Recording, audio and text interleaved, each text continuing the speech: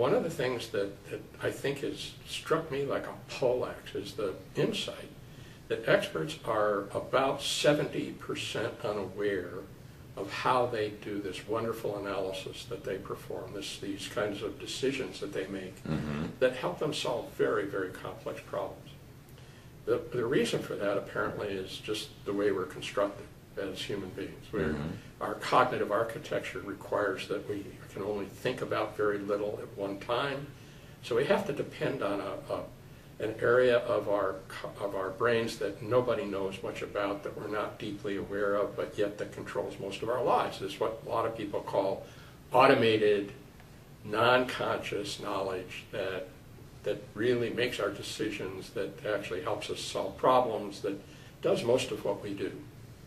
Now, the reason for these two systems apparently is that conscious knowledge, which is what we're all aware of, is its purpose is pretty much to solve new problems, not to mm-hmm. deal with our past experience. And we apparently don't have a lot of ability to think and to learn things really quickly, because if we did, at least some people suggest we might learn really stupid, self-destructive things and mm-hmm. end our existence, so to speak. So we're filtering it. We're filtering.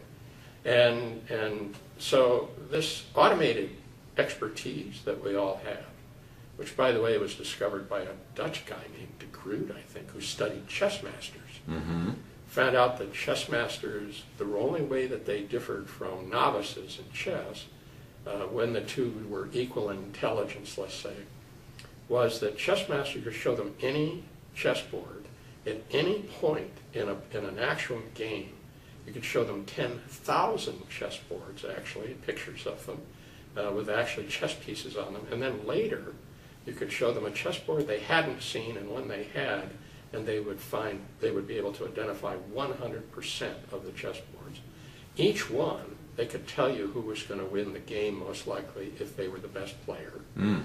And novices were random in their ability to identify chessboards they'd seen. So they have this incredible pattern matching ability that they're not aware of. They can't describe to you how they do it.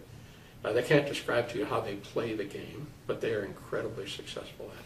So, so this has major implications for those of us who do analysis and interview or observe subject matter experts. To me, it has implications for everything that we do. Literally, uh, everything we do involves thinking, it involves problem solving. Mm-hmm. And uh, it appears that we are not, um, it, it, obviously, it's most important when we try to tell other people what we do. And that happens most often in training.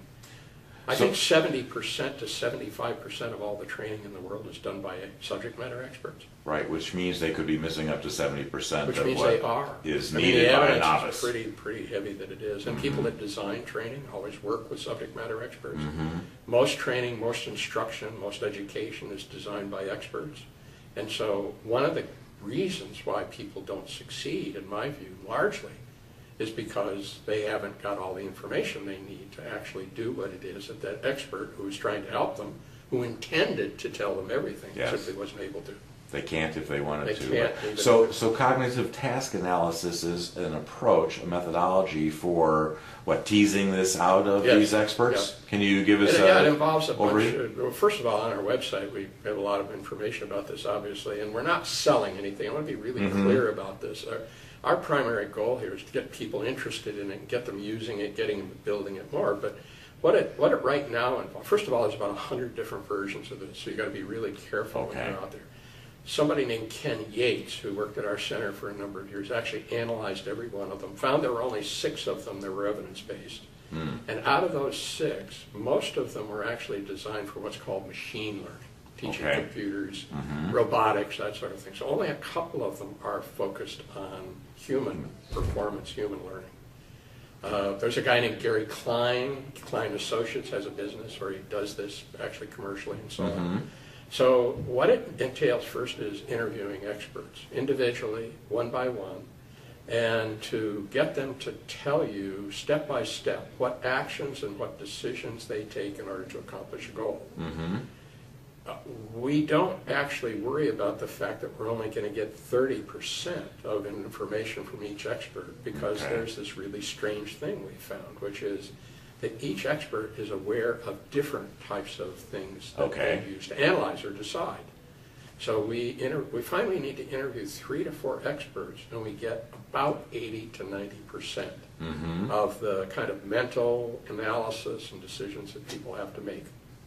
We then kind of capture that, we put it in a document, and then we do a trial and revise cycle with a novice who has to do that to see what's missing. Okay. We then go back to the experts and say, you know, we don't think you told us about this particular thing. And then they say, oh, well, So that helps with their recall. They can actually pull it up. Yeah, uh, yeah. If prompted in Yeah, such a way. Yeah, apparently when, when they're prompted, when they actually, but we don't know what to prompt them for until we actually go Right, through a find the trial holes. cycle, yeah. But the trial cycles work pretty fast because we really do have all but about ten to fifteen percent by the time we interview four people. Mm-hmm. And then uh, we build that into training. Uh, One of the very conservative ways that this work is done, the cons- the research is done anyway, is that we take trainees that are trained by the experts that we interview, and we then take the cognitive task analysis that we get from those experts and have it actually presented by different people or online, even without a human being actually doing the instruction. And we test the impact of that training on those two groups and see which does better.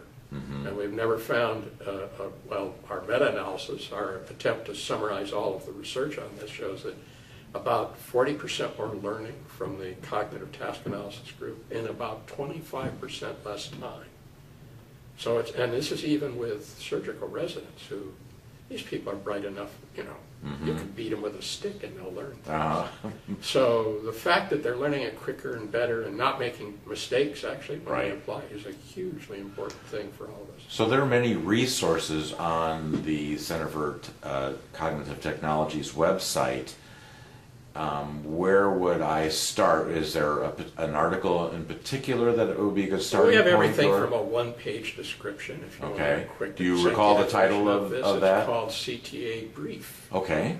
And uh, uh, all the way to two recent chapters that we wrote where we tried to summarize everybody's work on this, and it's pretty Mm-hmm. clear. There's a separate section called publications on our website. Yes. And the first, I believe, the first category of publications in that uh, page is cognitive task analysis. There's a chapter there called cognitive task analysis in the handbook, in, in one of the handbooks, and that's actually our best review.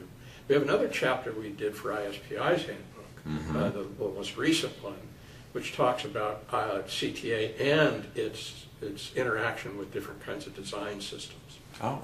So how it is that you do cognitive task analysis in a way that fits with some of what we knew, we call these new complex knowledge design systems that are developing out there right now. Hmm.